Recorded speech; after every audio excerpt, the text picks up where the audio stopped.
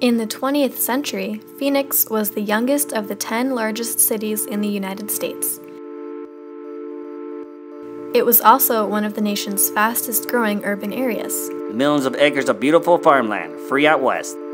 The Homestead Act and other government programs brought energy, roads,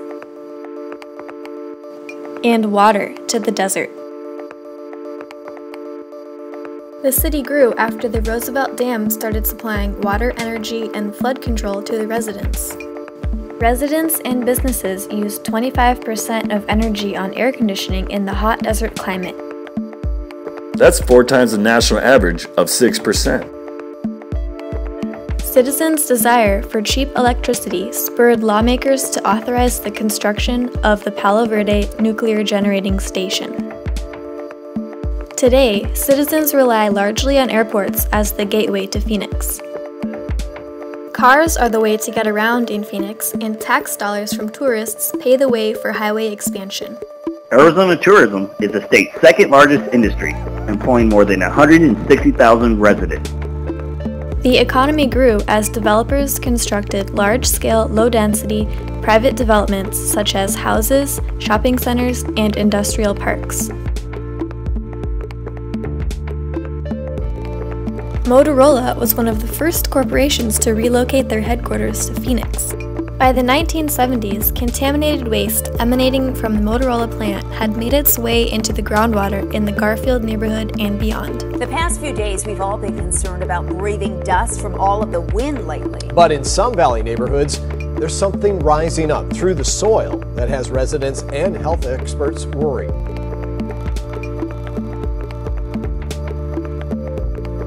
Today, the contaminated site is twice the size of Central Park,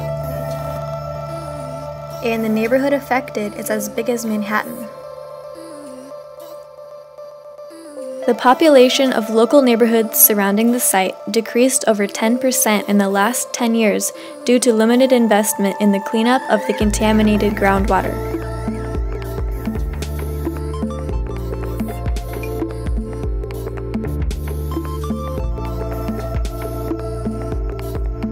How will new technologies enable the infrastructure required to promote a viable economic model based upon the expansion of private development in the coming century?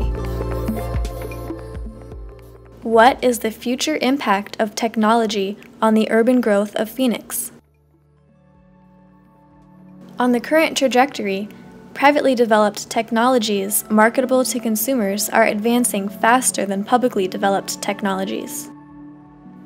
For example, while the U.S. Postal Service is on the brink of bankruptcy, privately owned shipping companies such as UPS are employing cutting edge technologies that continue to increase their success and position in the marketplace. In Arizona, community pundits such as Grady Gammage recognize this trajectory.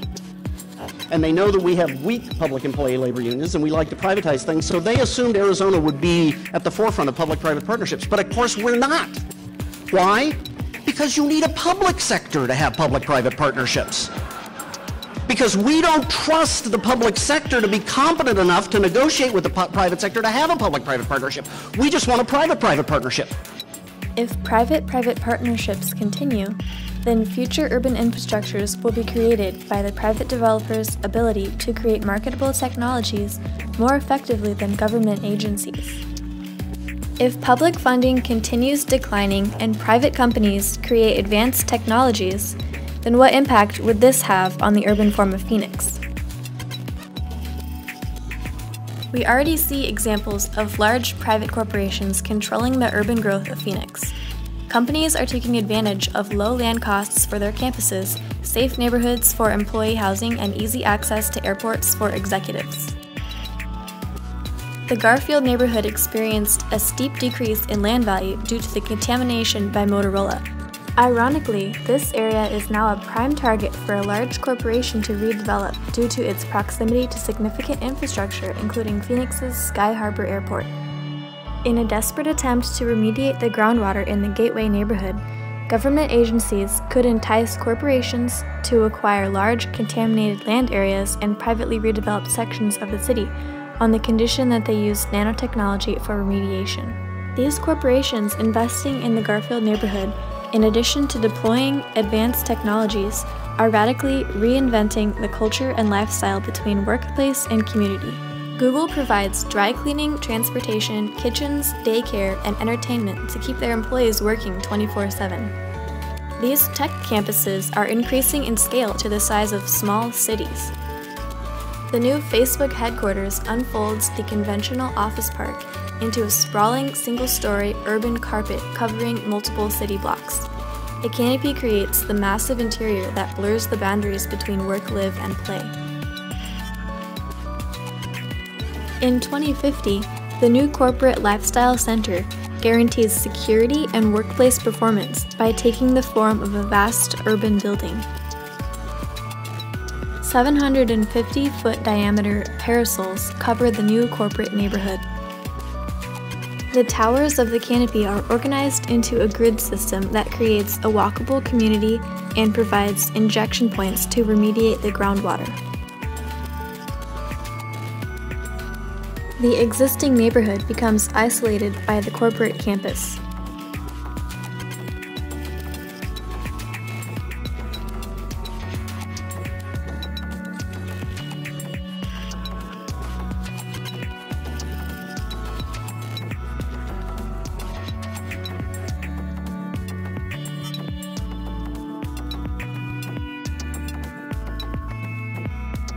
Employee housing is provided by the corporation in high-rise towers above the canopy.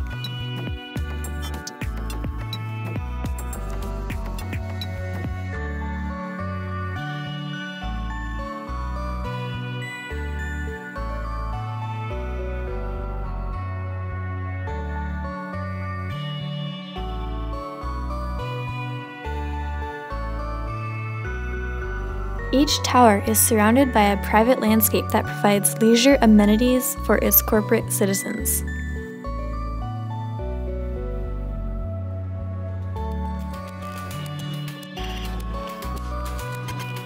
Existing houses, streets, and commercial buildings are encapsulated in the canopy. Conventional zoning no longer applies, and opportunities to work, live, and play are clustered to optimize performance.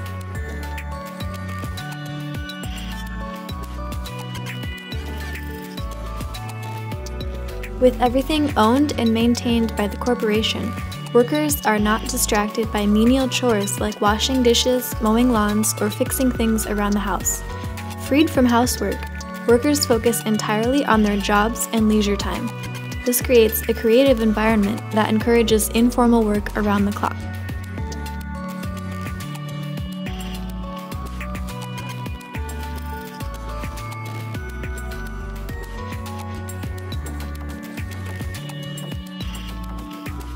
People are encouraged to exercise as part of the integrated preventative health care program exclusive to company workers.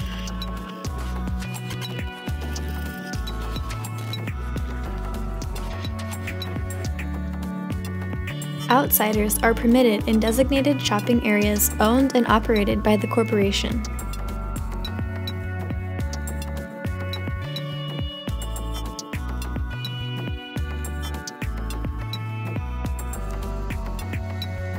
Productivity reaches an all time high, with immigrant workers providing the manual services no longer undertaken by the corporate citizens.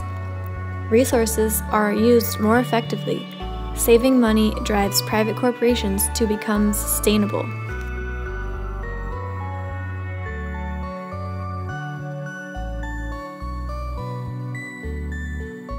Digital gateways and biomarkers ensure that outsiders are not a security risk to residents. Immigrant workers who live nearby in single family houses provide custodial services. Advances in privatized technologies result in a divide between well paid, high tech communities created by large corporations and low density, low paid service sector workers living in unimproved urban areas. Alternatively, what if advances in technology are used to develop and improve new public infrastructures that revitalize existing neighborhoods? Public infrastructure investments are supported by citizens using technologies such as social networking and collaboration tools to create new networks. We admittedly have a challenging geography, but the way we dealt with our challenging geography was through collective action was through making decisions as a citizenry about how to spend money to build infrastructure to make it possible to live here. That has been the central binding ethic of this place. How do you as a society act in a way that is resilient and adaptable to the challenges that face you? Citizens have the ability to influence and construct their own environments. This creates new urban infrastructures that meld into each neighborhood's unique aesthetic. Building upon Phoenix's history of neighborhood organizations, local and federal agencies and grassroots organizations collaborate to reinvent the urban form of neighborhoods. Indian Bend Wash Greenbelt Flood Control Project is a shining example of a solution that was born out of citizen concern and involvement. In 1997, more than 60 property owners along the corridor formed the 7th Avenue Merchants Association, and began to lobby the city of Phoenix to create a redevelopment strategy that could restore value to their properties and businesses. The Weed and Seed program is a Garfield community program run in collaboration with the federal government. The city of Phoenix began its targeted efforts to improve the quality of life when it selected Garfield in 1993 as one of five neighborhood initiative areas. Nationally, grassroots organizations are radically transforming the previously undesirable urban infrastructure into thriving communities. As part of the collaborative process, government agencies agree to help construct improvements to existing neighborhood infrastructure in the form of amenities. With greater citizen involvements, the urban form improves community connectivity, security, and increased density, Citizen clusters create informal, small neighborhood groups in the area with the greatest potential for transformation. Over time, a fragmented patchwork of improvements evolves throughout the district. A new landscape is born out of intense collaboration among neighbors, community leaders, local businesses, local government officials, and federal agencies. Lengthy negotiations and compromises result in unique yet uneven development patterns. Homeowners associations are no longer reactive, punitive bodies. They become proactive organizations that collaborate with government agencies. Front yards of conventionally lower density suburban streets are rezoned by local governments to allow for increased density in the form of small retail and housing developments controlled by homeowners. The front yards begin to decrease as buildings are placed facing the street narrowing the distance of house to street from 20 to 7 feet. Fences are removed and the front areas become more porous. Water for vegetation is prioritized to the streetscape, and these areas are transformed into active, comfortable public private areas where people interact. Obsolete neighborhood alleyways are transformed into new energy producing recreational areas flipping the conventional front yard backyard typology, thus allowing greater connectivity. Alleyways become community amenities and pedestrian walkways. A light tensile structure is added along the base of the alleyways, providing shade and mist in the summer and producing energy and collecting water.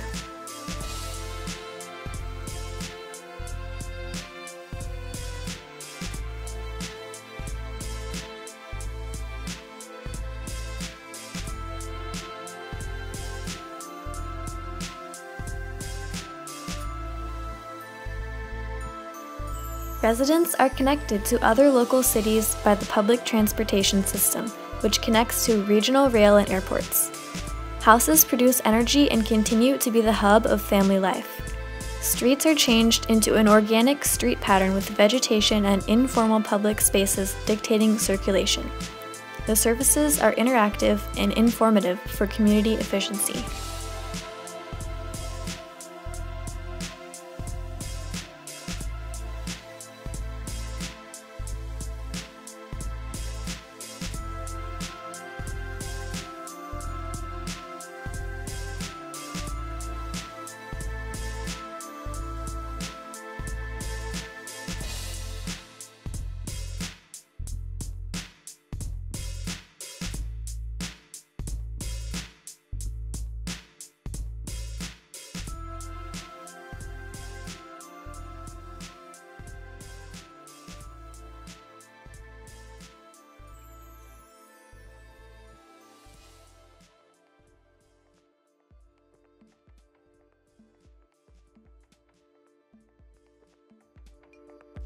In the coming century, will advances in technology be used to develop and improve new infrastructures that revitalize existing neighborhoods? Or will new technologies continue to promote an economic model based upon the expansion of private development? What is the future of Phoenix in 2050?